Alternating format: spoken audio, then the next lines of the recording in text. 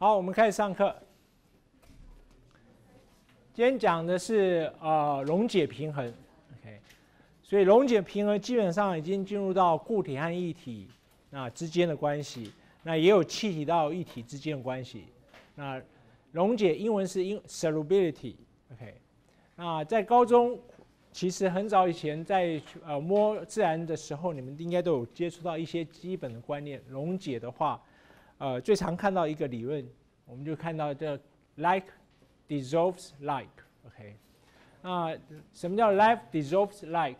那基本上我们先看一下溶解的平衡呢，基本上必须要进入到饱和溶液才算溶解平衡。如果你今天放的水呢，呃，盐巴呢放到水里面，啊，全部完全溶解了，OK。所以这是标准的完全的溶解的溶液，它并不是一个平衡状态。所以这个地方呢，你可以知道说。在这个状态，尤其这个状态中呢，它的 delta G 不是等于零，因为它不是平衡状态。OK，它基本上还会继续溶更多，所以它会等于是它自自由能变化会变小于零，因为你盐巴一直放下去，它就一直溶解掉，一直等到像这个盐巴到这个位置的时候，那这时候它才到进入到平衡状态。所谓平衡状态，就是有两个项已经平衡了，这时候你才能确定它的自自由能的变化是等于零。它随时可以从啊溶液中啊沉淀变成固体，固体也随时呢有任何分子呢会溶解到水里面，那之间呢它们达到一种平衡状态，所以这才叫做溶解平衡。所以溶解平衡一定要看到固体存在，这时候才它才是溶解平衡。那溶解的一开始最简单的理论呢，最常看到的理论就是哦，我们还没到啊，这边是先看一下它的自由能的变化。那自由能的变化基本上呢是说，通常我们说溶解呢，举固体的来讲，固体呢叫做啊 solute，整个英文重要的英文单字呢，第第一个当然是溶解度 solubility。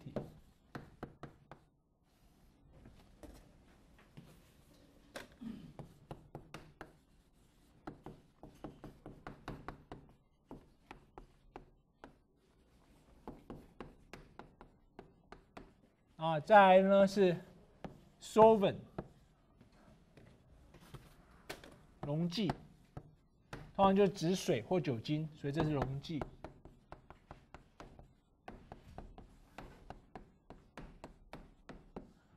solute 溶质，这溶质在我们这一节里面，通常指的是固体或者气体。最后，solvent，啊，solvent 出来，solution，就是溶剂加溶质，所以它是溶液。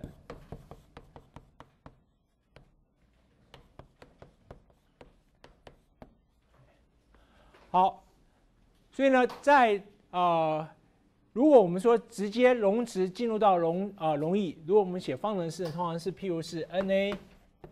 Cl，然后这时候它是固体，啊，中了状态呢是 NaCl，然后 aqueous，OK，所以你说它的自由能变化，像从这边开始来看的话，它的自由能变化应该是中了状态，G 呢是 NaCl 减掉这边是 aqueous，啊，减掉 GNaCl solid。所以是中了状态呢，指的是呃溶液的溶，整个是 solution 的状态，减掉溶质的状态，溶质可能是固体或气体的状态。平衡的时候，它们之间，我们刚才看到图形，就是当它有固体存在的时候呢，它们平衡是等于零。OK，好，这个式子有没有问题？有没有什么缺陷的地方？如果从化学式来看，应该是这样子。OK，这是出问题在，当你要写完整式子的时候，事实上是应该是这个式子加上了水，才会产生出 NaCl aqueous。所以正确的式子应该是像下面这个式子，起始状态是两个。一个是溶质，溶质呢是指的是啊 solute，另外一个呢是 solvent 溶剂。所以你看这个图形，当如果把系统跨在这个方格里面呢，既然这边有固体的溶质的自由能，还有液体的自由能。所以呢，这个地方呢，应该是还要再减掉原来水的，所以这边要还要减掉 GH2O liquid。整个式子要这样子，所以这个基本概念呢，会建立在我们的当，所以当我们要建立一个呃溶解的热力学模型，它的整个模型出来的时候呢，我们必要必须要考虑到起始点有两个，一个是溶质，一个是溶剂，终了点是容易合在一起。OK，那所以到时候我们就把这个模型套到呃整个，不管是我们要在计算热含或是 entropy 的变化，都是从这个地方来看。所以这基本的啊，要先让大家弄清楚啊，它的自由能的计算应该是这样子出来标准的。那我们刚才说过，在早啊国中、高中期时期呢，第一个我们碰到就是啊，like 啊，dissolve like，OK，也就是说呢，同样的性质的，就是如果是疏水性，它们就会疏呃，就会基本上呢会溶解疏水性，或是非极性的物质会溶解非极性的物质。那极性的物质会溶解极性的物质，OK，好，那这是一个标准的例子。这标准例子呢，就是指这个固体呢是指硫 S 八，OK，S 八是一个非极性的物质。如果大家还记得的话，它应该是一个环冠环冠的形状，OK，它是一个呃环环绕在，有点像这样 S。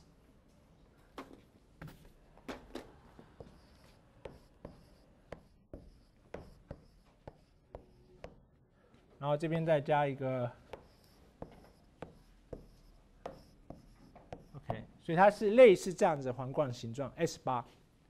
好，那基本上呢，它这样环绕出来以后呢，它只能溶在非极性溶液。那第一瓶就就上面这一瓶呢，基本上是把 S 八呢放在水里面，所以你就发现说它是固体和液体呢是分开的，它没有办法溶解。OK，下面这一瓶呢是 CS two。CS2 呢，它的分子结构呢，基本上像 CO2 一样，因为 S 跟 O 是同一组的，所以呢，它所产生出来的分子结构是一个线形的 sp2 混成轨域，所以它是 S C S，所以这是一个非极性的溶液，所以呢，硫八放在里面，它就全部溶解掉了，所以这个是一个溶解现象，所以这是非极性溶溶解非极性，这是极性溶解非极性。所以基本上在呃呃高中的时候都学过这些东西。那事实上呢，你会发现很多事情并不是完全就一定是照根据这一个呃定理来看。那我们先回顾一下，什什么什么是呃物质是极性，什么是物质是非极性啊？这是课本的一开始一些简单的练习。OK，好，在。这个是指的说，如果在有机化合物里面，那有机化合物通常指的就像，呃，常见的碳原子化合物。啊，这边是 CH 三，CH2，CH2，CH 三，那这边 CH 三。好，如果有其他这些取代基，把 H 一个 H 拿掉，就是 CH2，接其他的官能基，OK。第一个是接氨基，氨基是 NH2，OK，所以它本身它会不会变成是极性呃极性还非极性的物质？这极极性，因为它本身还会产生出氢键，OK，所以这是胺类的结构，所以它接如果是接一个 NH 的话，那第一个它本身的啊负电度很大，再加上这个 H，所以这本身呢就会去吸引其他的 H。产生出氢键，所以这个是一个极性的化合物，呃，胺类。好，那如果是接甲基的话，那因为它本身跟原来的骨架是一样，所以呢，这个一定是非极性。如果它直接接 CH 三的话，如果是接溴，请问接溴它是极性还是非极性？你觉得？认为是极性的，请举手。一二三。是，认为是非极性的，请举手。就一个。好，我们看极性和非极性其实是坐落在它的键上面，然后在整个分子上面的呃表现。如果你看它的电负度的话，这边的 C 是二点六，那溴是三点零，OK，所以它们是有极性存在，但这个极性非常的弱，因为它们电负度的值呢，基本上只有差零点四而已。所以使得呢，如果当你的化物里面呢有加卤素元素的话，不管是加 Br 或加 Cl，氟当然就比较大。当加这两个的时候呢，它是一个弱极性的化物，但事实上呢，它大部分情形是属于非极性的化物，它溶解在脂肪内。所以，当你任何物人体呢，一吸收类似有机乳化物的有有机化物的时候呢，它并不是会溶在水里面，它事实上是溶在脂肪你的脂肪里面。那最常看到的会有放乳素元素在它的有机化物旁边的，最常看到就是杀虫剂。所以杀虫剂本身其实呢，你会吸收，如果它会溶在水里面，它就排掉；可它不溶在水里面，它一直累积在你的脂肪里面。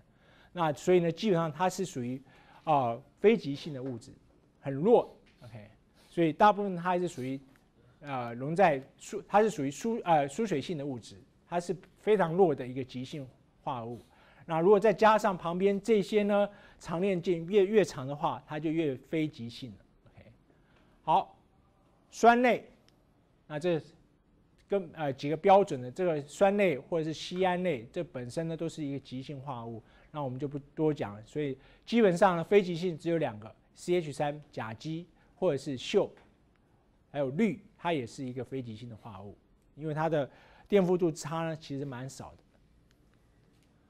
好，所以呢我们就看一下，下面何者是为亲水性，哪些是疏水性？OK，第一个我们看到的是 acetic acid，就是乙酸，乙酸其实刚才我们就讲过，它只要是酸基在旁边，它产生出来的。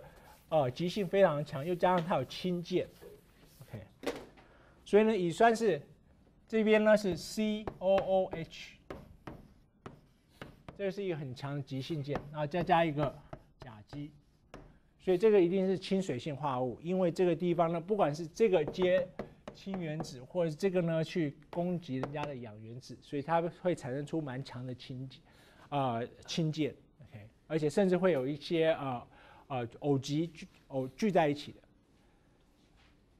有时候酸基不代表它一定会变成亲水性的原因是，如果你旁边的这个 Rg 变很大，那变到多大？我们一、二、三、四、五、六、七、八、九，到现在为止，这个还会溶在水里面。然后碳再加上去以后呢，九个碳再加上十个碳，通常我们在动物脂肪或者是植物油里面，通常大概到十二个碳到十八个碳不等。九个酸类呢旁边接九个碳以后呢，随着碳数越增加，它的溶解度就锐减。到十二，它已经几乎不溶在水里面了。所以，即使呢旁边有这么强的一个极性的原子团，只要这边呢它的非极性的原子团够长，再加上这些长长分子，如果它在室温底下，它会卷在一起，还会回包这个极性团，所以它把这极性团都可能都把它绕在一起。所以呢，越长链越不容易溶在水里面，那它就会进入到脂脂肪酸。脂肪酸呢，其实它就是一个酸类结构。那只要超过九个碳以上，它几乎都不溶在水里面。啊，这个情形就是发生在这个所谓的三酸甘油脂肪酸。OK，那这个是甘油本身，甘油本身它是一个极性化合物，它就是属于醇类的结构。所以这个有三个醇基，所以它一定溶在水里面。那加上。它如果酯化跟这些酸类酯化以后呢，虽然这个地方是有一点极性，但其极性呢对整个分子影响其实小小呃少之又少，所以这个是不溶在水里面的，这是很标准的三酸甘油，它它基本上它不会脂肪脂肪酸，那它基本上它就不会溶在水里面了。但是这三个酸呢，如果其中一个去换成磷酸基的话，OK，所以呢，这个三三个酸里面，其中有一个像这个地方是一个磷酸基，那这磷酸基就你把它看成像一个盐类在这个地方。OK，所以你可以看到磷酸本身带的是负电荷，啊，这一边呢氨基的地方带的是正电荷，所以这个地方呢本身它的电呃电子密度的分布非常的不均匀，那这个电子集中在这磷酸的地方。那这个 NH 三反而是一个呃缺电子的地方，所以这个地方它的呃电子分分泌啊密度分布非常不均匀，所以这个边是变极性的端，那这边变成是非极性的端，OK，啊就变像这样，这个分子呢就变很有趣了。那所谓的啊有趣的是，因为这边是极性端，这边是非极性端，那这样子呢就会造成我们在呃化学里面或者是在高中你们曾经学过类似脂啊那个肥皂的结构，这个磷酸磷酸呢脂肪本身就变成是一个标准的界面活性剂，界面活性剂代表说这个极性端呢它会溶在水里面啊这边非脂肪的地啊就地方非极性的物质呢它会会聚集在一起变成类似一个小球小球一样，OK。好，那这个地方就是代表是说，如果今天是上面是油，下面是水，啊，这是醋，这个是醋，这个是我我从一个意大利餐厅里面拍出来的。你知道这这是干嘛？第一个我们知道它一定会分开，因为上面是橄榄油，下面是一个红酒醋，OK。那所以当你们沙拉拿拿过来的时候，或者是说你面包，通常你吃面包呢，面包啊，在呃意大利餐厅他们不直接涂奶油，有些是涂。在一些西餐厅，它涂奶油，但有些是沾的橄榄油吃，所以你先倒上面的橄榄油倒出来。那如果你觉得那个橄榄油实在太太腻了，你就加一点红酒醋，红酒醋从就从这个地方倒出来。这边这个，所以你往这边倒的时候，它是倒呃橄榄油；往另外一边倒，它就变成是红酒醋。OK，这样看得懂吗？还还有还有还有一个更更。如果你去就古呃一些比较古典的意大利餐厅，它有些这个容器设计更更呃更典雅，就是它中间有一个玻璃瓶，玻璃瓶里面放的是橄榄油，那外面放的是呃醋，OK，所以这个是用来做呃一开始餐前菜的时候，或者在沙拉里面你也可以这样做，OK，就做意大利醋。好，那我们现在就来看一下，这下面呢是两个维他命。那这个小颗的呢，就就是维他命 C，这大的呢叫维他命 K。那请问谁是脂肪啊？溶于脂肪哪哪一个是溶于水？OK。那我们先看一下，碳原子本身呢是灰色的球，那红色一只要一看到球红色呢都是指的氧原子，白色呢代表是氢原子。所以呢你可以看到这一颗原这一颗小的分子呢，它有一大堆的氧。OK，这个氧存在，它可能是双键的氧。那有氧旁边有氢的话，就是得纯基，所以它至少有一个纯基、两个纯基、三个纯基、四个纯基。所以这个呢，啊，维他命 C 其实是一定会溶于水的，又小。OK，那这个旁边脂肪，呃，维他命 K 呢，旁边有一大堆，有一个长链的这个这个 CH。那这脂肪族呢，只要这个长链一一旦变长以后呢，它即使前面虽然有纯基，它的呃，所影响力就变小，一旦变小呢，这整个分子就变成是脂溶于脂肪，所以这是脂溶性的维维生素。那另外一边就是水溶性的维生素。OK，这样清楚吗？好，那我们就回到看界面活性剂。界面活性剂呢，基本上呢最常看到呃应用就是在清洁剂上面和呃或者是肥皂上面。早期的肥皂呢，其实就是油类再加上呃氢氧化钠，然后把它呃基本上做一些处理以后呢，它的酸的部分呢就会有 NH 正啊，这个地方呢是 COO 的呃 carboxy group，就是烯酸的根，那这边有 NH 正，OK。那 surfactant 就是介介面活性剂，最重要就是它有一端呢是极性端，另外一端呢是非极性端。就是一个是输水端，这边是输水的整个机构，这边是清水的机构，所以当它呢放到呃水里面以后呢，它通常会产生出这样子的球爆形状。这个球呢代表是极性端，就指这个是极性端。那这个尾巴呢代表是它脂肪族，那脂肪族会聚在一起，然后这边呢它的极性端就会铺露在外面，铺在外面呢它就跟水亲合在一起。所以它就变成像这样情形，就变一个球一个球一个球。那到变成这样情形，你其实就很难判断说你要怎么解释说它到底是纯溶呃它是溶解呢还是不溶解？OK。所以当我们所谓的进入到乳化效现象的时候呢，溶解就变成是原来传统式的溶解就变成比较有一点争议性。那我们就直接讲这个啊界面活性剂。那界面活性剂呢，所谓的肥皂就是说，通常不用肥皂就代表说你在清洁东西的时候用水就可以把它溶解掉。那水洗不干净，代表说那些东西不溶在水里面，不溶在水里面基本上就是它是非极性的。所以呢，我们必须要借由清洁剂，那这清洁剂呢，一边呢是溶在水里面，一边是溶在呃非极性的物质里面，所以它就会把它溶整个插入到啊非极性物质，那这微非极性物质表面全部都是属于啊清水性的东西，所以它就会溶在水里面清洁掉。OK，好，那这个地方有两个清洁剂，第一个呢是 COO，它当啊极性端，另外一个 SO 三，这两个差别是在哪里？上面 CO 端 C 本身是比较小的原子，在小的原子的基本上呢，它很容易跟阳离子呢产产生强的氢啊静电作用力。所以呢，举个例子，如果今天呢水里面是硬水的话，它是钙有钙离子在里面，它就紧抓着钙离子不放。一旦紧抓钙离子不放，它就很容易沉淀掉。所以这是传统的肥皂里面它不能在硬水里面洗的关系，就是因为它抓着钙离子不放，它就失去了它的极性端的。功能，OK，那后来就改进的方法就是把这碳原子改成是硫原子，所以它的原子团变比较大，所以它之间的静电作用力就变比较小，所以它就很容易把钙离子释放掉。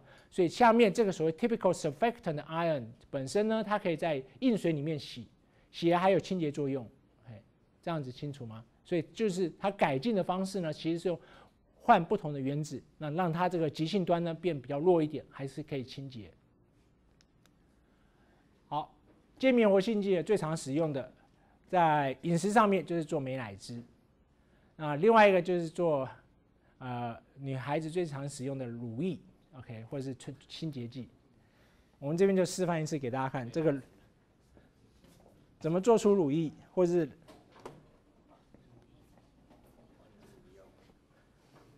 这个是洗洁剂，就是你们洗碗机沙拉多。OK，所以这个我们刚才看到，就是它是硫酸根在呃，就是在后面。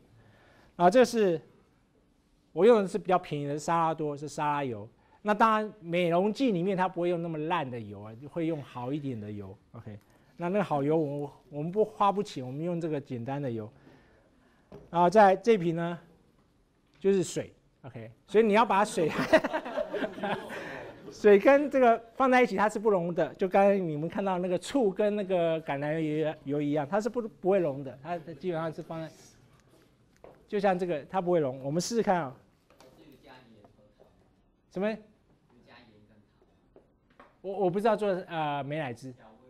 哦，不是不是，我们现在只是做一些示范而已。加盐和糖，我们下一堂课好了。这个只是告诉你，我们先加油好了，OK。加油！我们加到大概这个是五十 mL 的烧杯，我们加到二十五好了。五。哎呀，我这个倒这口太小了。待会我们再，所以你可以看到这边是，好，这是油，加一点点水。如果你想要变很浓的话，就水加少一点。水加多一点，它就变起云剂了。我们先加一点点水，所以水在下面，水是比较重的，那你看不太出。我把它放进去一点，我加一点点这样。所以在这个地方，你可以有没有人看得到它有有两层？有。OK，如果有兴趣，待会待会自己来下课，你来玩一下就可以。好，所以呢，我把它搅搅拌。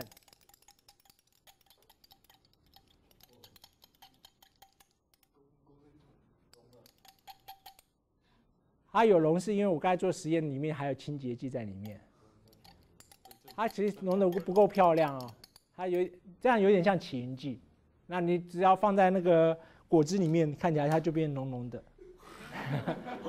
我们再把界面活性剂，因为它事实上是不溶的，因为它水和油是不溶的，让它可以溶在一起的，就是把界面活性剂放进去。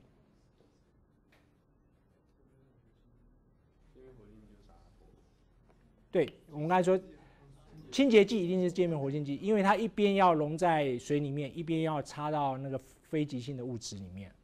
啊，不管是说酱油啊，或者一些物质上面，哎，我怎么还没打开？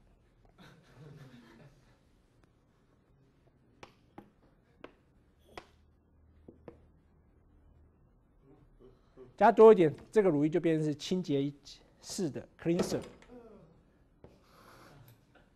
好，所以呢，我们就把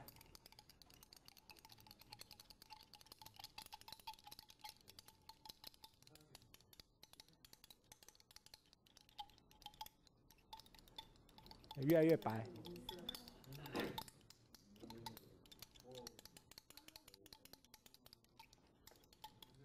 啊。搅越久的话，其实你用一些洗，它就变白了吗？有些像白色乳液，然后如果速度越快，如果有打那搅拌器的话，它就整个都变成是乳液状。卫生纸借我一下，这个可以用吗？你可以洗，用手洗一洗，然后我们这这时候你再把它放一些香精进去，它就变成很香的乳液了。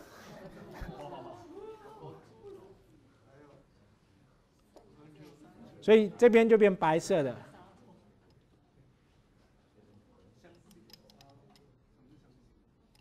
精油，对，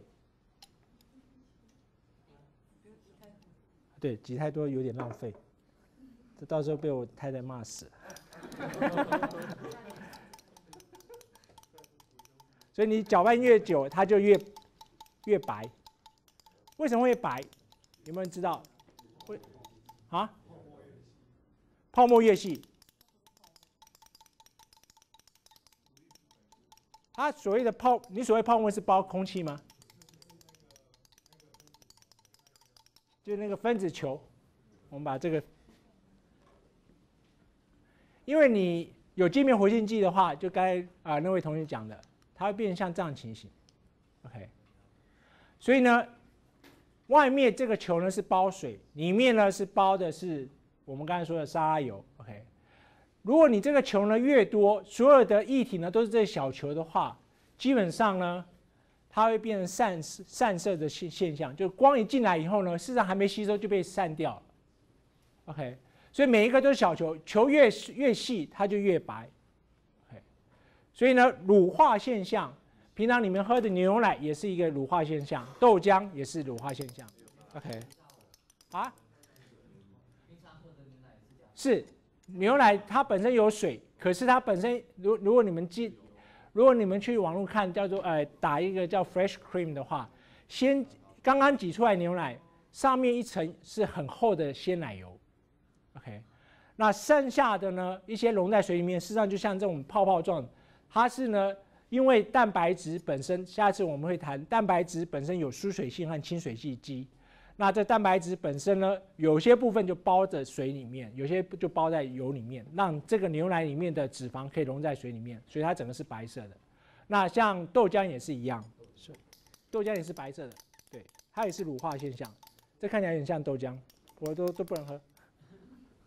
好，请大家有兴趣加，待会你们可以玩一下，水加少一点，它就越来越浓；那水加多一点，如果一直加水下去，它就变成是起云剂了。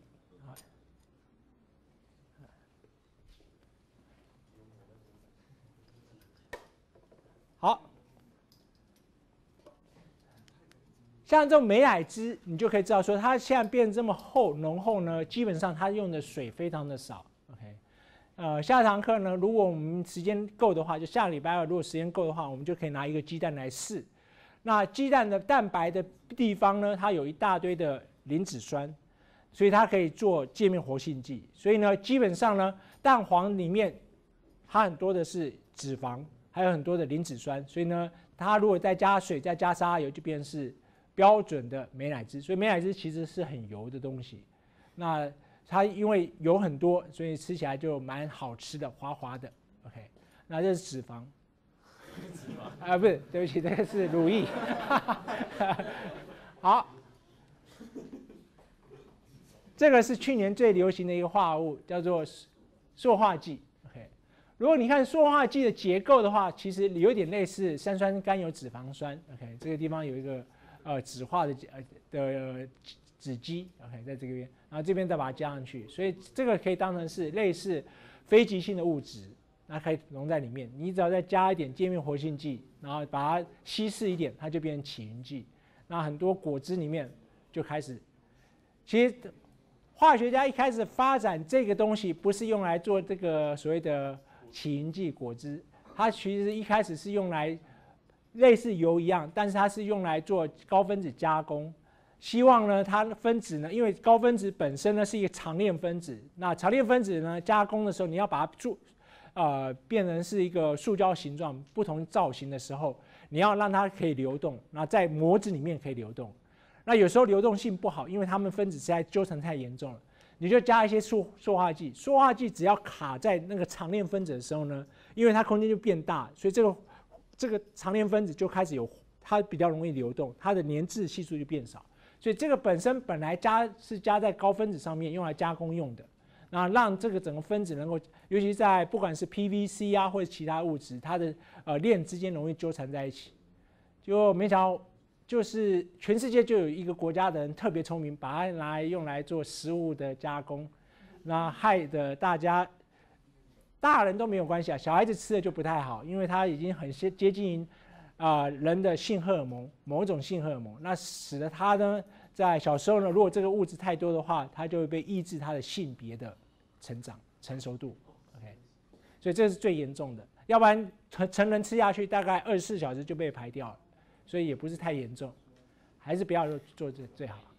OK，好，界面活性剂呢，啊，有用来非常多的不同的地方，它的用途是越来越广，尤其在纳米科技里面。OK，在生物里面，第一个就是这个磷脂质呢，本身呢，它可以包成，你要知道，这种磷脂质就是标准的细胞膜的啊成分。OK。所以细胞膜本身呢，就是一个呃这种磷脂质。那那这磷脂质排成这样情形，它就是类似一种易经结构，它可以滑动。那这磷脂质做得好的时候呢，它的这个接它某些地方可以当成是一个呃接受器，接啊或或是抓的某些药物啊在固定的地方，所以它它这个地方可以包的药物，然后外面可以抓一些接受器，这接受器可以专门呢哦。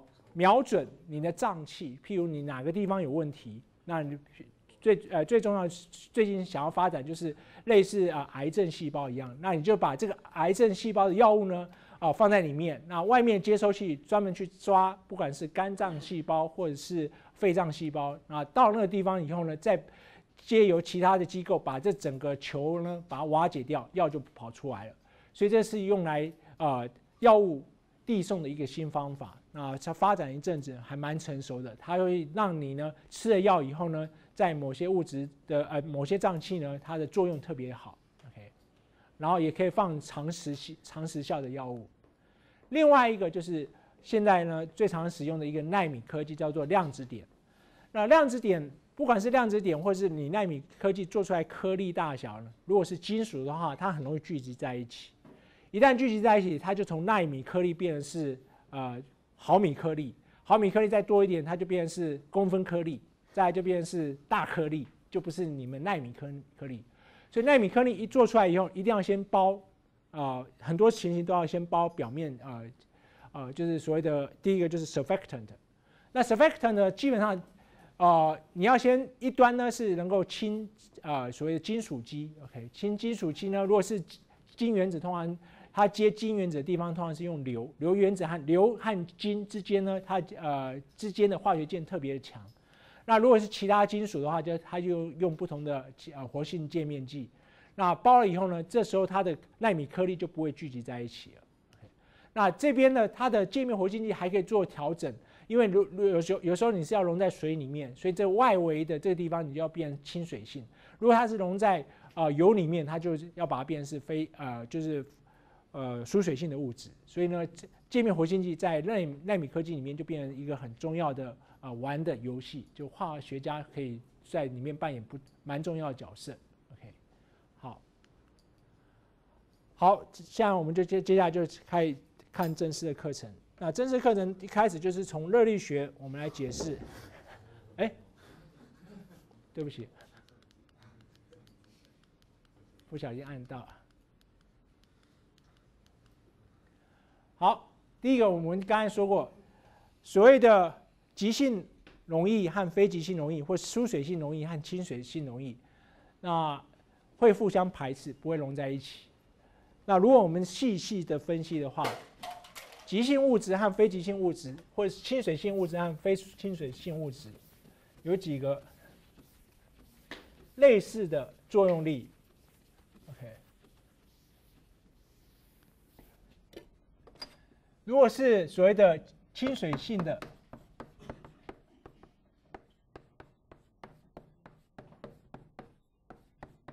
的 solute。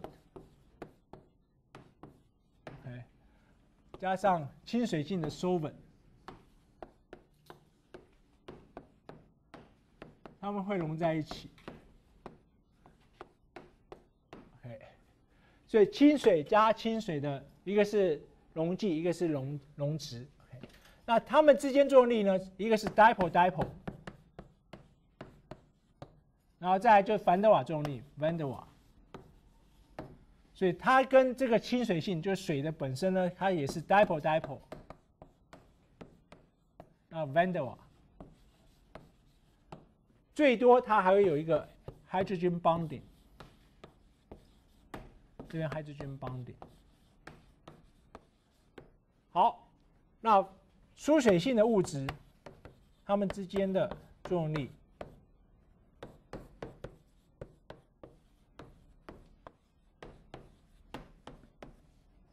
加上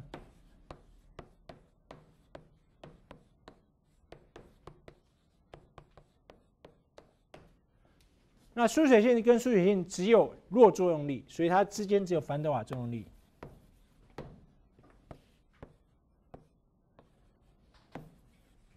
凡德瓦我就用 VDW，OK，或者是你要把它成 random force 也可以。所以这两个之间只有凡德瓦 force。那上面呢是有 dipole dipole van der Waal，甚至有 hydrogen bonding。哎，好，那接下来我们就要问：如果疏水性和疏水性是 van der Waal force 的话，它们会融在一起。那我如果把这个疏水性的 solute 放到这个亲水性的 solvent，它们之间作用力是什么？这作用力只有 van der Waal force，对不对？即使这亲水性本身有 dipole dipole，或者是有 hydrogen bonding，但是呢，对疏水性的 solute 放进去呢，它们也只有 van der Waal force。好，疏水性和疏水性的 solvent 和 solute 它也是只有 van der Waal force。那为什么这个作用力呢？都是 van der Waal force，这疏水性无法进入到这个地方。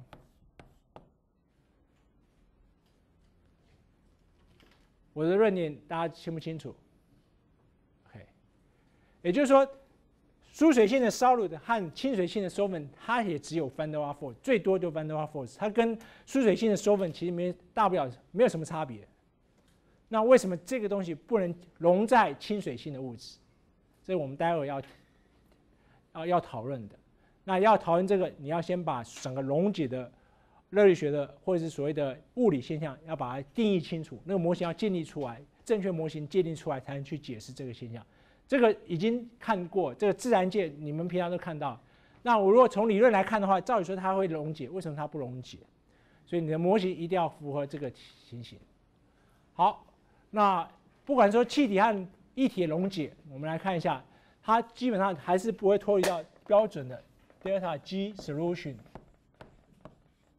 那它等于是 delta H，我把这个写大一点。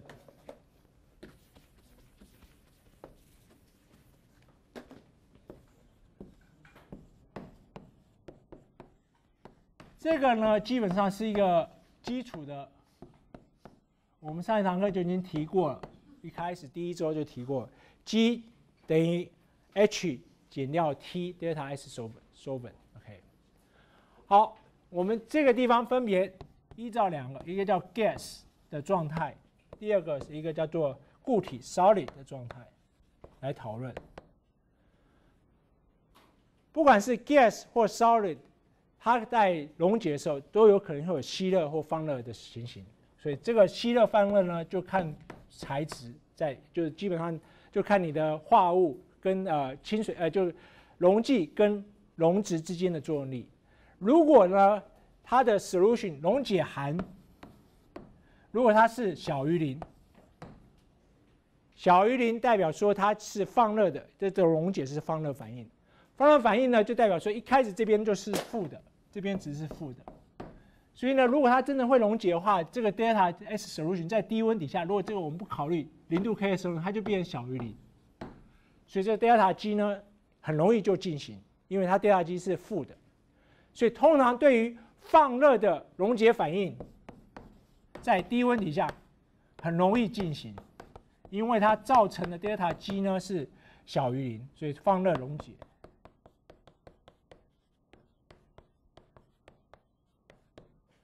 如果呢，这个 delta S solution 呢，溶解含它如果是大于零，OK，大于零的话就代表是吸热溶解。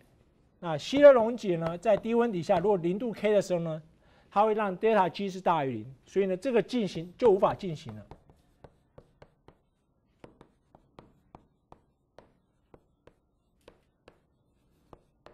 所以呢，如果你是吸热的溶解的话，它必须要到比较高温，那它就要受到后面的 entropy 的影响，要让这个 entropy 呢，然后大到某种程度，使得它这个值呢加起来会或减起来呢会小于零，让 delta G 小于零。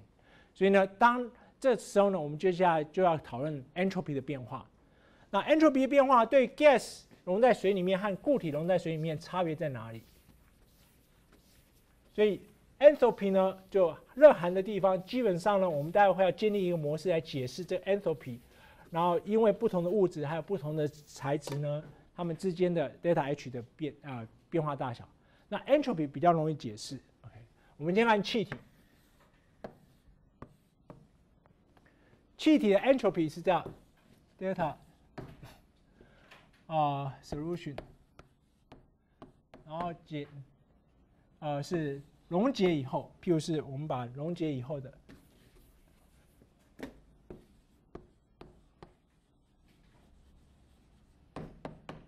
减掉起始的 solute，减掉 sovin。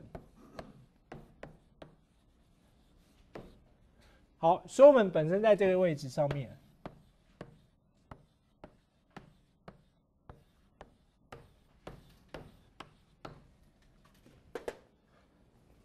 那 gas 原来是在上面，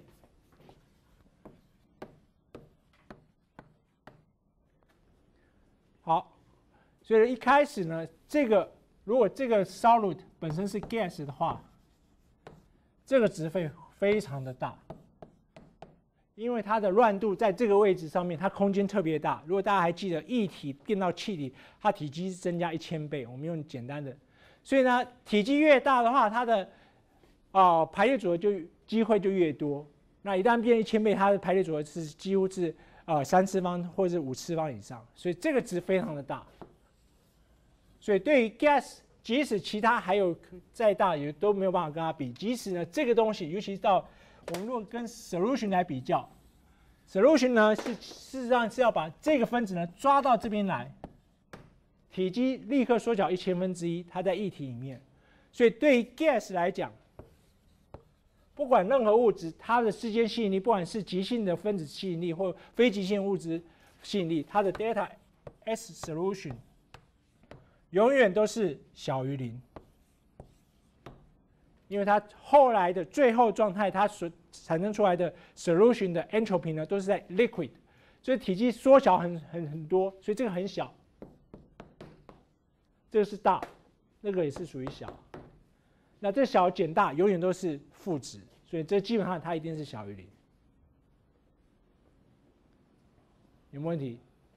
所以 gas 的 entropy 永远都大小于零，它的变化永远都小于零。那 solid 刚好固体刚好相反，固体呢基本上是这样子，固体呢是一开始它是变成是晶体结构，在这个地方，然后液体呢是乱乱的在这个位置上面。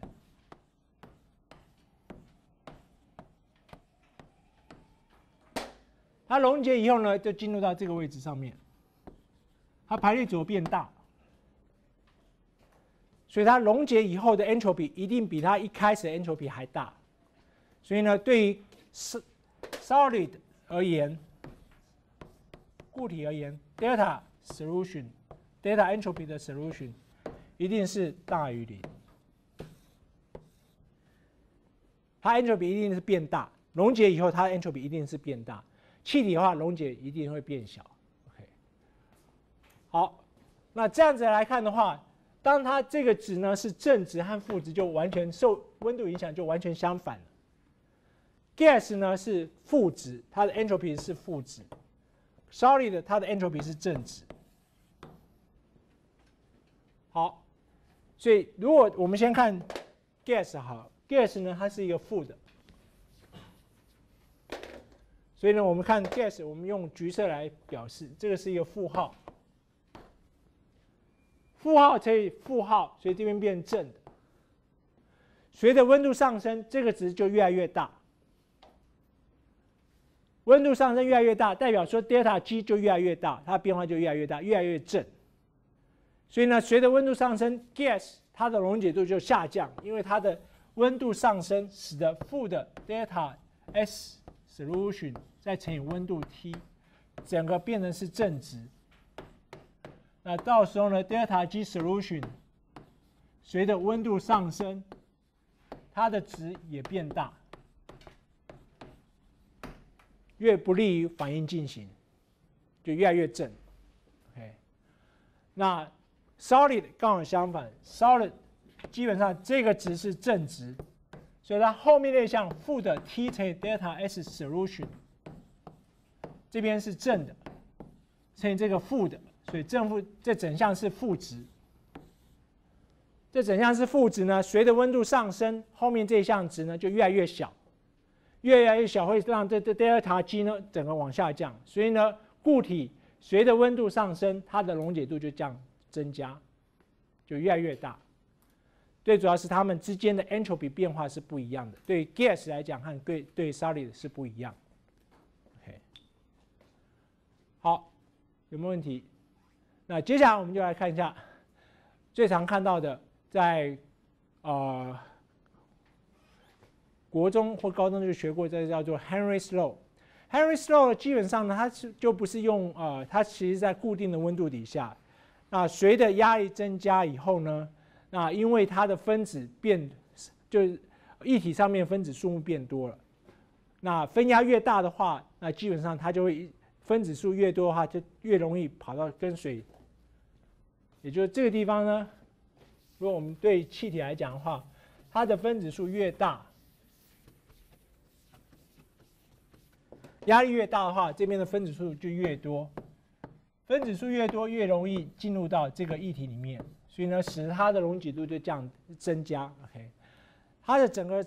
热力学要导出来，其实比想象中的复杂一点。那我们就这边呢，就直接还是利用高中的方程式。那这部分呢，我们就用 Henry's law，就是 S 等于 kH 乘以 P。S 呢是指的它溶解度，这边指的是体积末浓度。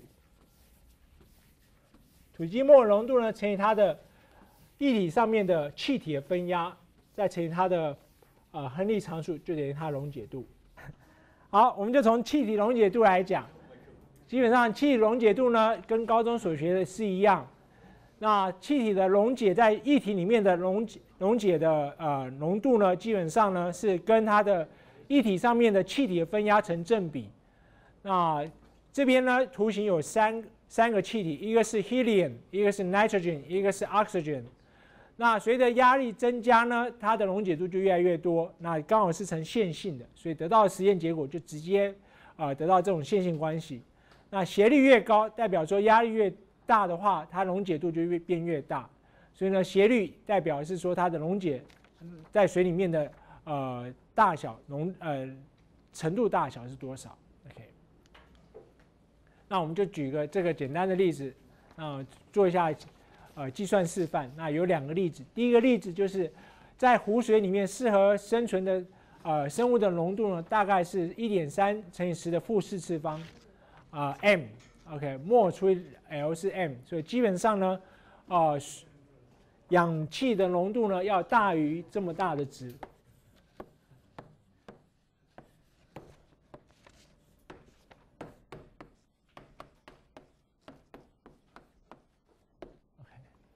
那现在呢，在地球上面的分压是零点二一大气压力。那根据我们的热呃，就是 Henry's Law 的话，请问一般湖水它的氧气浓度是不是这气也打错了？OK，好，氧气浓度是不是大于呃适合呃会不会大于等于是一点三乘以十的负四次方？那我们就可以来看 Henry's Law 呢是浓度是 S 等于 KH 乘以它的分压。那 KH 呢？对于 oxygen 来看的话，基本上应该是在这个地方，一点三乘以十的负三，所以我们用一点三乘以十的负三，啊，再乘以它的分压零点二一，所以得到结果是二点七三乘以十的负四次方，大于一点三乘以十的负四。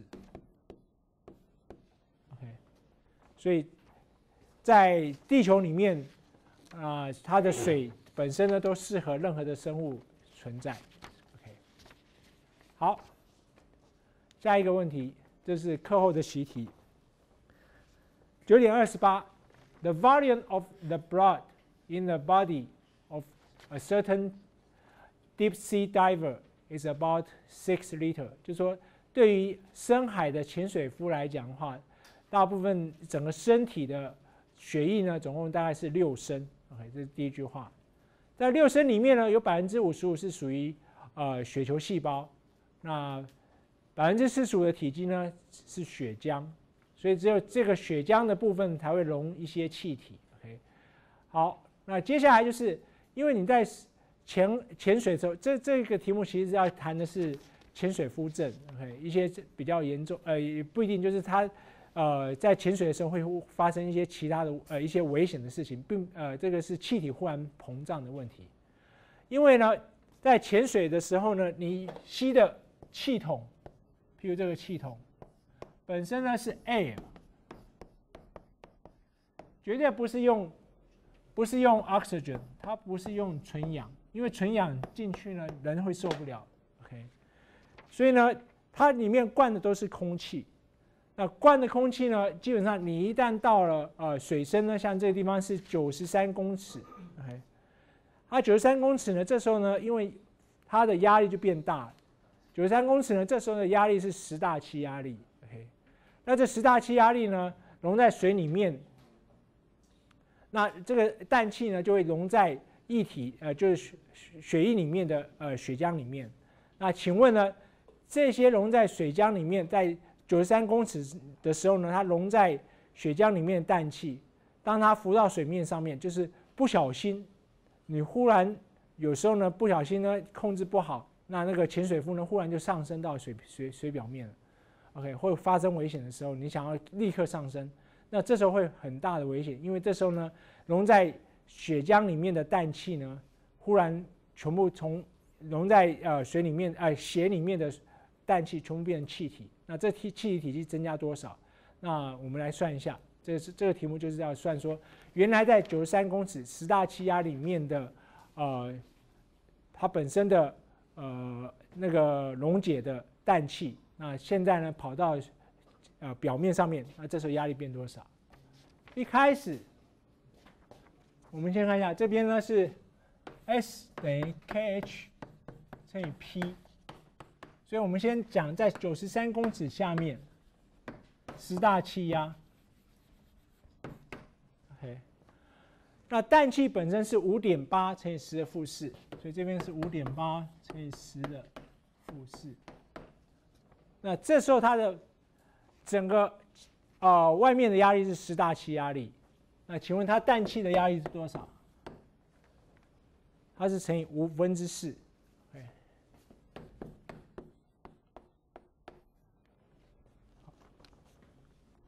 所以这个时候呢，它的浓度是这个是 m 的浓度。就得到结果呢，应该是大概是分之四四点，我看八十三十。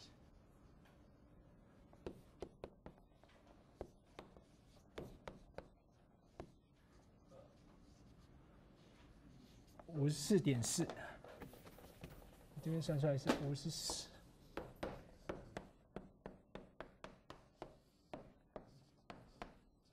OK，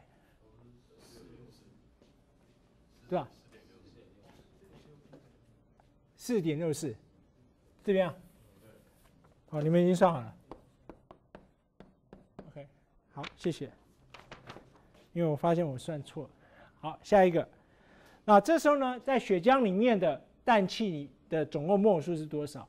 所以你知道它这个是浓度。那血浆本身呢，它的体积，我们先看血浆的体积。血血浆中血浆的体积，那就是血液的原来是六升乘以百分之零点四五。这是它血浆，所以呢，大概是二点七升。所以这时候呢，溶在血浆里面的氮气，它的摩尔数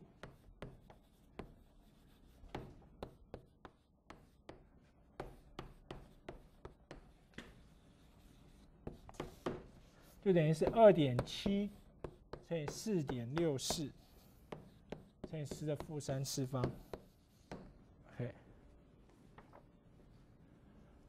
好，所以这是在里面的。所以当你把它浮到水里面，这个摩尔数呢，它变成是在一大气压力，然后三三十七度 C 的时候，这时候呢，它的体积，所以这个呢，它的体积对 N two 来讲，那这时候呢，它的呃温度是三百一十度 K，啊 eATM，这体积就利用气体方程式。它就等于是 n r t 除以 v，n 就是指的这个，这个是指它的 n。OK，那 r 呢，就是用的是，所以 n 乘以零点零八二，再乘以三百一十度，再除以当时候，啊，对不起，当时候的压力，这边应该是压力，是用 eATM。所以呢，这算出来结果应该是应该乘零点四乘以乘以零点八，大概零点三二左右。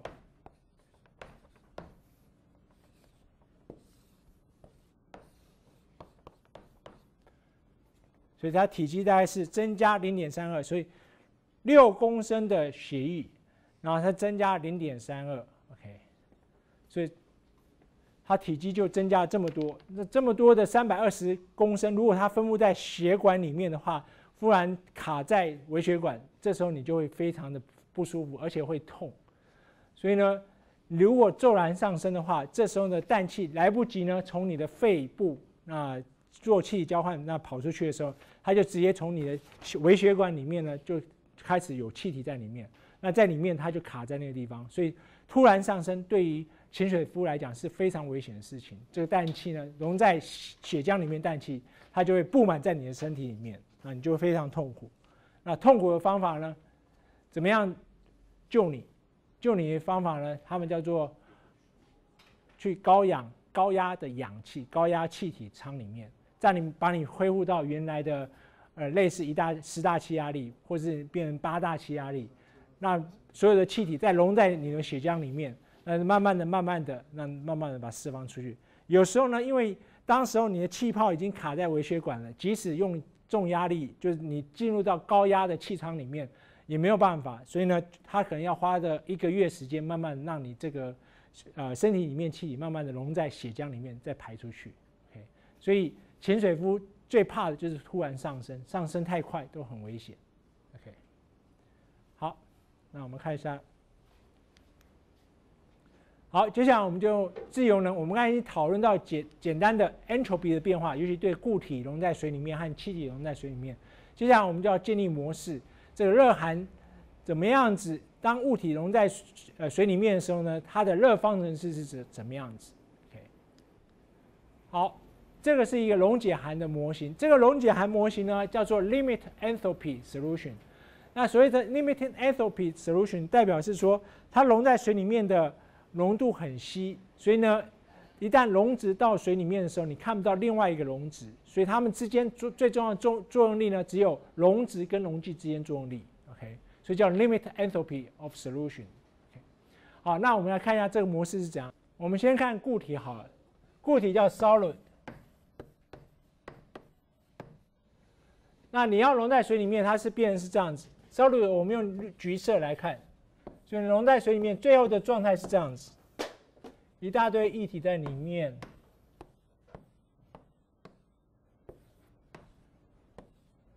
啊，中间有橘色的分子在里面，所以我们这个叫 solution。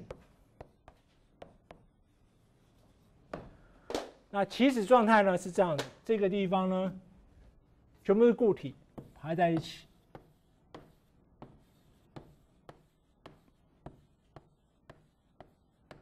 然后呢，这边是 solvent 溶剂，就纯液体。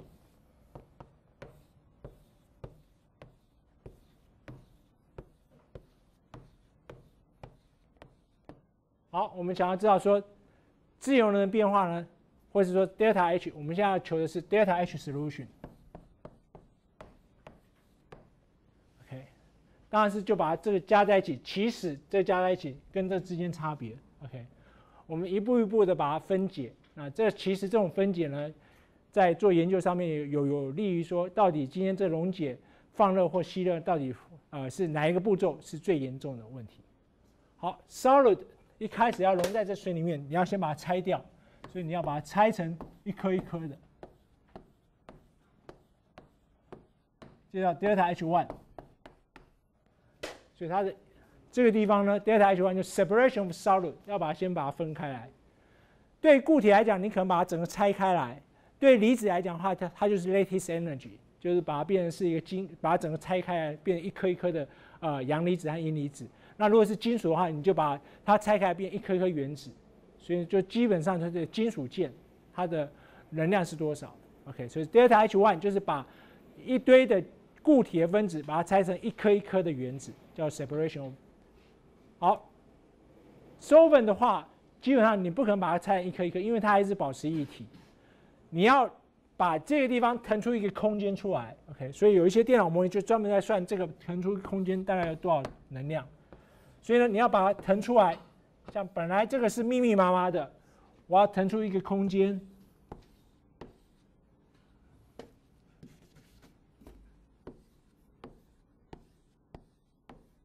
让这个橘色分子进来，OK，所以我要有一个腾出一个空间能量。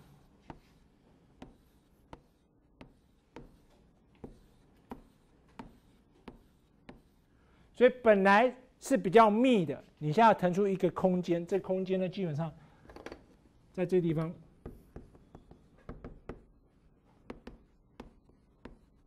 所以这叫 cavity。create 在 solvent 在 solvent 里面 create 一个 cavity，它需要能量，因为它本来是吸引，它本来是在能量最靠近的最最谷底的地方，你要把它拉开来，所以这需要能量。这能量呢叫 delta H 正，delta H two。所以这两个基本上都是大于零，都是正，因为你都要把原来吸引很密的能量把它拉开来，OK。所以这这基本上都是吸热反应，所以大于零。好，一旦变分开有这空间了，我们就把它和在一起，这叫 delta H 三。delta H 三就是把这个分子塞到这空洞里面来。OK，塞进来呢，它的能量是会因为呢，它们两个原就橘色原子跟红色原子呢互相靠近，所以呢，它们吸引力就变大。所以能量就下降，所以通常这个能量是负号负值。所以呢，整个溶解模型分为三个步骤，第一个步骤就把固体的分子呢，就是结晶的分子呢，把它拉开变一颗一颗原子。第二个步骤就是把液体呢产生出它的空隙，然后第三个就把它塞进去。OK，所以这样子呢，我们就可以开始分辨一个一个讨论说，那这能量问题出在哪里？那我们就可以用来呃解释为什么极性一定要融在极性里面，不呃极性不会融在非极性里面啊，非极性也不会融在极性里面。啊，虽然说非极性放在极性溶液里面，它们还有反导作用力，那为什么这两个之间没有？那我们就分别就这个 delta H one delta H two 加 delta H 三就等于是 solution，所以我们把这个式子呢就变成是 delta H one 加上 delta H two 加上 delta H 三啊，它们的符号呢分别是正、正、负，所以这三个加起来就可以确定说它到底是吸热反应还是放热反应。第一个，我们先看。容易自己溶自己，OK。如果今天上面是水，这边也是水，所以呢，基本上 delta H one 拉拉开的能量加 delta H two 加 delta H 三这个能量，那会等于零，因为再把它放进去，它就会回到原来状态，OK。这个是我们称为叫理想容易。如果今天水换成其他的，假设它譬如是双氧水好了，因为它们两个分子靠很靠近，是 O O H，也就是说，它们两个作用力很靠近，或是乙醇跟甲醇之间作用力也很靠近，所以呢，使得它们拉开的能量跟放进去的能量是一样，你更感觉不出它们之间差别。这个叫做理想溶液 （ideal solution）。跟 ideal gas 是不一样。ideal gas 是说分子之间没有任何作用力。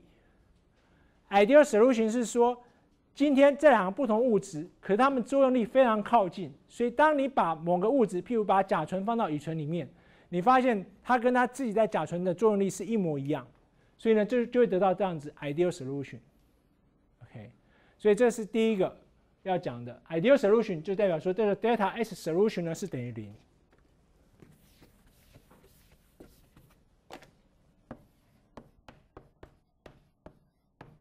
就是你把自己分开以后，再把它合在一起。事实上呢，它们之间呢没有任何的热含，不会吸热，也不会放热反应，所以这叫做理想溶液。理想溶液呢，等到我们在谈蒸馏的时候呢，它是一个很重要的一个呃一开始的物理的呃参参数。然后等到它远离理想溶液的时候呢，它们这时候蒸发出来的蒸汽就会远离原来我们所说的一些重要的线性定理。好，所以这是理想溶液。那我们现在接下来谈的就是，如果是极性和极性作用力的话，OK，极性分子跟极性分子之间作用力，然后非极性和非极性，然后极性和极性，极性和非极性，OK，好。极性和极性之间差别就是，这边是强作用力，它有把要把它拆开来的时候，就是固体是极性，啊，这边代表是固体好了，这边代表是液体。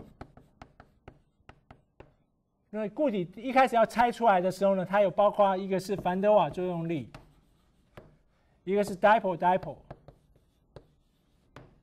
好。如果还有氢键，你就把氢键，我们先把氢键拿掉，要不然这个格子不够多。OK，就是极性分子而已。所以这这之间要拆开来，需要正的能量。那这个呢，凡德瓦作用力，dipole dipole，它是正的。所以这个都是属于比较强的作用力，所以值都比较大。强。当你把它放进来的时候。变是放热反应，OK，它们之间也是凡德瓦和 dipole dipole，所以这是凡德瓦 dipole，所以呢，这也是变负的但是它是强作用力。所以呢，基本上这是强加强减掉强，OK。所以它们产生出来结果大部分不是靠近零，就接近于零左右。所以他们会吸引力，类似理想气体，啊，理想容易，他们也会融在一起。好，那另外一个呢？这是非极性作用力，它只有 van der Waal，van der Waal 加 van der Waal 减掉 van der Waal。所以一样，这个是正的，强。正的。啊，对不对？弱，这边是一个弱，因为它是弱作用力。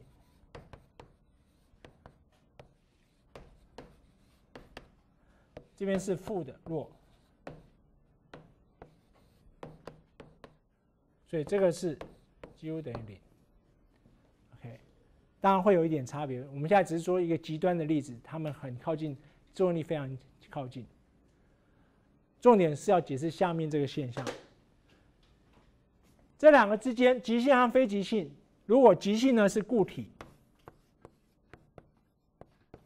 然后非极性是液体。我们刚才一个重要重要论点就是说，非极性和极性之间本来就有凡德瓦作用力，它其实跟就跟非极性和非极性一样，它们之间虽然这个极性本身有 dipole，但是呢，它会跟非极性之之之间作用力还是只剩下凡德瓦。任何物质之间都有凡德瓦作用力、弱作用力。好，所以呢，我们现在看第一个固体要拆掉，就是 H W H one 呢，基本上它把它拆掉的话，这时候呢，它所需要力量就是。凡德瓦作用力加上 dipole 作用力，所以这个是一个正值，而且是强作用力。一体要拆掉的时候呢，只有弱作用力，只有凡德瓦作用力，所以 video VW van der Waal interaction，所以这个也是正值，但是它是弱的。好，当它把它塞进去的时候，把极性分子塞到非极性的时候，这时我们刚刚一开始的论点就是，我把极性塞到非极性，或者非极性塞到极性里面，其实它们所产生出来的作用力只有凡德瓦作用力。所以我们当时候的论点只有考虑到这一点，就是把极性塞到非极性，或者把非极性塞到极性，我们并没有考虑到前面两个作用力，就把要把它拆开来作用力。OK，那。差别在哪里？我们把它写数写，所以这是弱的。好，强的代表数值比较大，它是正值；弱的数值比较小，是负值。呃，正负，OK。所以呢，这个强的地方呢，这个要拆掉的力量非常的大值，所以这个大的正值。加上小的正值，呃，正值减掉小的，因为这边作用力呢，啊，两个吸在一起的作用力其实很弱，因为只有反转作用力，所以这永远是大于零。所以极性放在非极性里面，它的溶解现象的理论的溶解函永远都是大于零，不会小于零，因为它要拆掉强作用力的分子，不管是把它变成是一颗一颗原子，或者是你要产生出 cavity，基本上那个能量很高。后面即使有弱的反德瓦作用力，都无法克服这边的力量，所以他们基本上一开始 delta H solution 就是大于零。那我们刚才讲过，delta H solution 大于零呢，在低温底下几乎不可能发生，因为它的时 delta G 大于零，除非你的 entropy 呢效应变大。OK，所以对固体来讲的话，除非你把它加热，加热到某种程度，它们就开始就会溶解。所以呢，油和水。如果你加的温度够高，它会溶解度会变大。OK，所以这个是整个简单的解释，极性和非极性之间，它们之间的溶解函事实上永远都是大于零。那最主要就是强作用力呢，你要拆开的时候，它需要很大的能量。即使你把它填进去，它们两个之间互相作用力只是弱的凡德瓦作用力，那个能量不足以补偿它一开始要拆掉它的能量，那能量实在太高了。OK，这样清楚吗？好，在离子固体里面呢，我们把它简化成这三个过程，简化成两个过程，就是第一个固体你要拆掉的时候，离子固体要拆掉，我们叫做 lattice energy，就是从这个像 NaCl，你要把它变成是气体的离子，所以呢，这叫 lattice energy。在我们上学期的时候已经讲过很多，所以 delta HL 就是啊，我们刚才说的 delta H1 固体要把它拆成一颗一颗原子，OK，所以这个是 delta HL。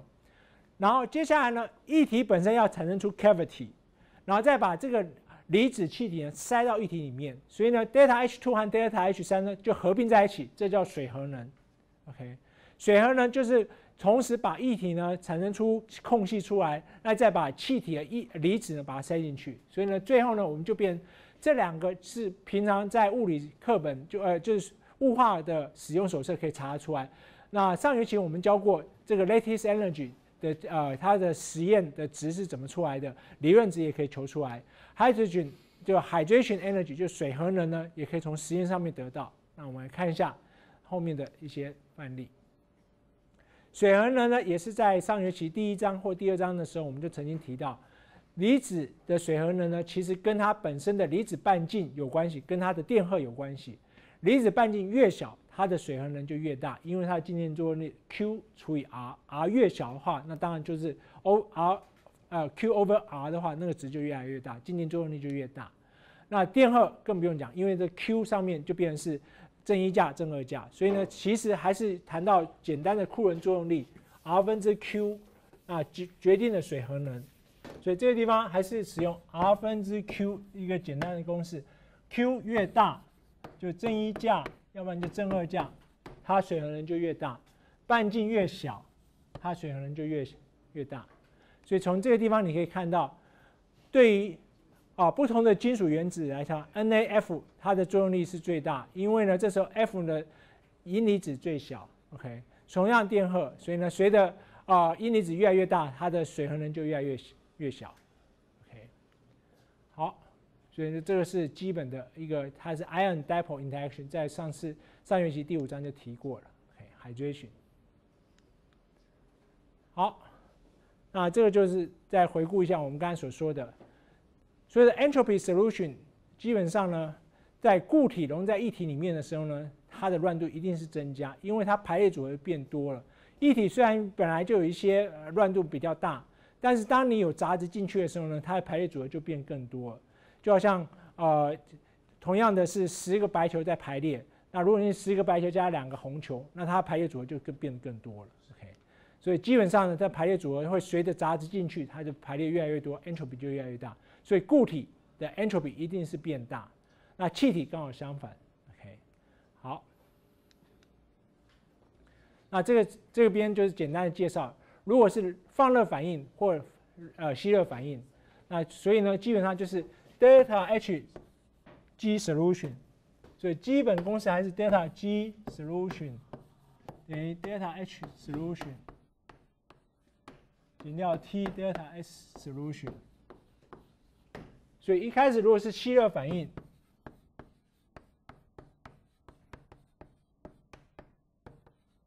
所以 delta H solution 是大于零。那我们其实是要追求它小于零，这时候才会溶解。OK，所以在低温底下，OK，在低温的时候，这个低低温的时候，假设如极致点就零度 K，它不会溶解。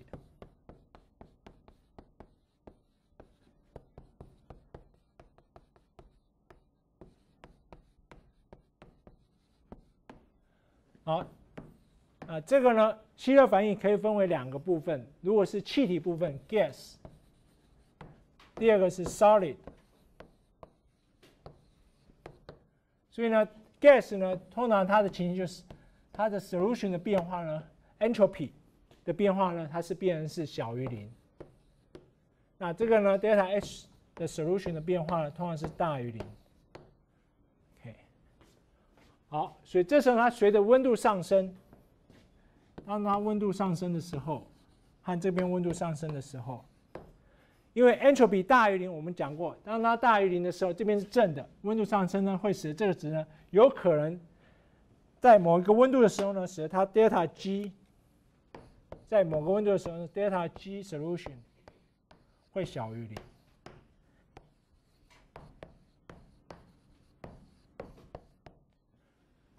但是对于气体来讲，如果一开始吸热反应的话，它永远呢，这个 delta S solution，delta G solution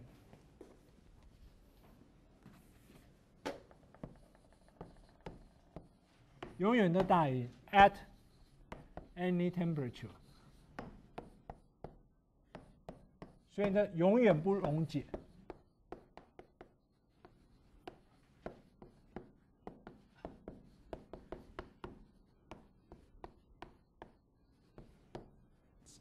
OK，那对于固体来讲的话，在某个温度它就会溶解。反之，如果今天呢，这个是一个从吸热变成放热，它变成放热，所以这个值呢就变成是从大于零变小于零。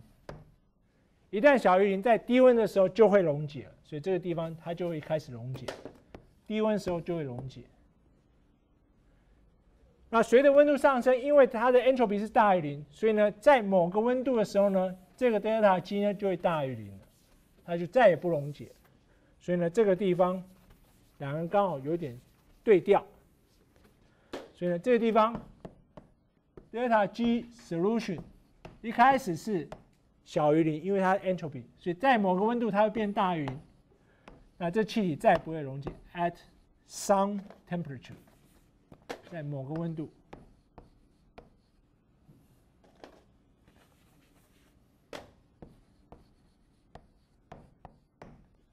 然后这个呢是永远都 delta G solution 永远都小于零。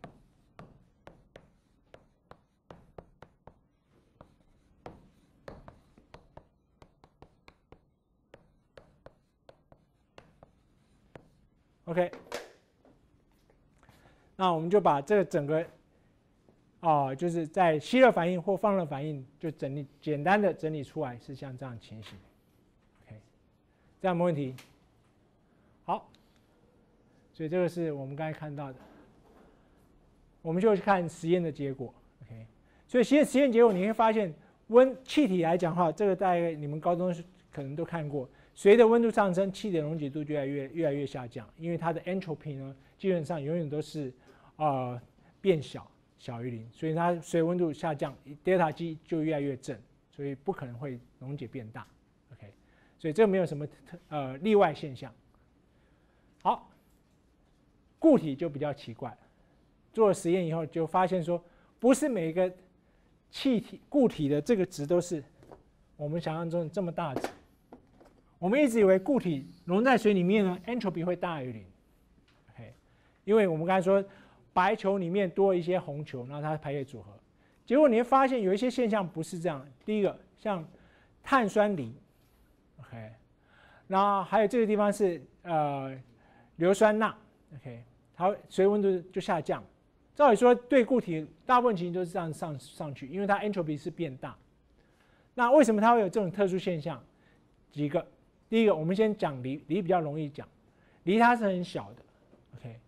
那锂，因为它这个原子太小了，它会抓的水分子，所以它会产生出类似我们叫 cage effect 或是 cluster effect，类似水合。就锂这个本身呢，在这地方一直紧抓着某些水分子，这水分子呢，好像把它变成一个水牢一样。所以呢，这边水分子呢它的熵就变小了，因为它这边呢会抓的。类似水合物，把它紧紧卡在那个地方，抓着不不放，所以这是少数的有可能会发生的。从这个地方实验看到的，就是像这个，它随温度上升，反而溶解度下降。OK，所以这个是几个比较特殊的，要不然固体来讲，大部分都是随温度上升，它就溶解度变大。好，那下一个，那这最后的简单的复习一下。好，那这个问题是这样子。啊，从这下面里面呢，这个地方呢，就是请你找出来 delta H solution。这边打错，这个应该是 H 哈 OK，我回去再把它修正。这个这个是 H，这个是整个溶解热。OK，这个表格是溶解热，课本上面的，这是 delta H。好，所以呢，请你在这个表格里面找到氯化锂、氯化钠、氯化银它的溶解热。OK，从这边一二三这边，好，所以这边代表是 delta H，就指我们现在查的是这个值，所以这个表格是这个值。那你要查出来氯化钠、氯化啊、氯化锂、氯化钾，然后请你呢比较说，到底这氯化锂呢它的 lattice energy 比较大，还是它水合能比较大？然后氯化钠的 lattice energy 比较大，还是水合能比较大？然后在 AgCl 呢哪一个能量比较大？OK，好，所以呢我们就把水核能呢查出来以后，WH solution。划分成三个，WH one、WH two、WH 三。WH one 就是把固体拆成原子，WH two 呢就把液体产生出空隙，WH 三就把它塞进去。对于离子来讲呢，它把它简化成只有两个步骤，就是固离子固体把它拆成是气体的离子，OK，这个 lattice energy 加上呢 delta H hydration。就把这些气体的离子直接塞到液体里面，那液体同时要产生出空隙让它填进去。那通常这个是正值，这个是负值。OK，所以如果你把它式子写成是绝对值，因为我们要比较它的大小，那就变成减号绝对值 delta H hydration，这边是。好，那我们就开始来查表。锂化氯啊，氯化钠、氯化锂、氯化钠，然后氯化银。好，氯化锂呢，我们得到是负三七，这个 solution 是它等于它的 delta H 是负三十七，就是负三十七千焦 per mole。下面这个值比较正三点九，正三点九，OK，在这边是正六点六十五点五，所以这个它的吸热就吸很多的热，对于氯化银来讲话，OK，所以它是这个是小于零，这接近于零，大于零，这个大于远大于零。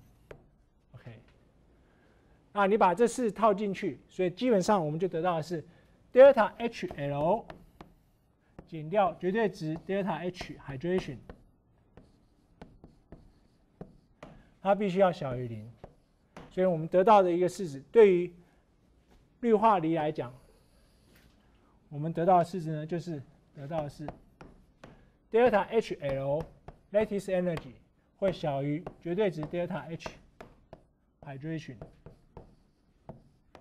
是这个式子，所以呢，它的对这个来讲的话，它的水核能比较大，它的晶格热比较小，所以基本上是这个式子，有没有问题？同样情形，你也可得到这个式子呢，会得到是 delta HL，因为它正值 delta HL 就会大于绝对值 delta H hydration，所以这边呢，氯化钠呢要把它拆掉的晶格热呢就比较大。它水核能反而比较少，因为它变吸热反应，它的放热出来的热量呢没办法补偿它的一开始要拆掉它的能量。那氯化银那就更大，因为氯化银呢，如果你们去查的话，银离子其实还蛮小的，所以呢这个呢是远大于它晶格热呢是远大于它的水核能。OK，那我们把这上面这式子如果大家没看清楚，我就把这个写清楚。所以，因为这样子结果，我们会得到的是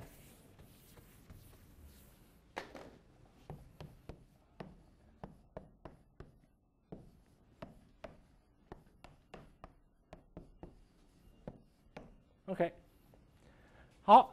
所以从这个水和含，你就可以知道判断说晶格热和它的水和含之间的关系。从溶解热、溶解含，那最后呢，我们来解释说。为什么在室温底下呢，氯化银还不会溶解？那其实很简单，就是因为它的吸热实在太大了，所以即使它的 entropy 变大了，但是呢，温度乘上去还没有办法去克服这个吸热的热量，所以它没有办法溶解。那对于氯化钠的来讲的话，它是吸热反应，所以呢，即使因为它吸热不不是太大，大概三点三点九，所以呢，你温度上升到某个温度，呃，它就完全溶解了。事实上，在很低温五度 C，它都可以溶解掉。OK，那只是它溶解的时候，它是一个吸热反应，所以盐巴溶在水里面呢，温度会下降，它不会放热。好，我们这一堂课就上到这边。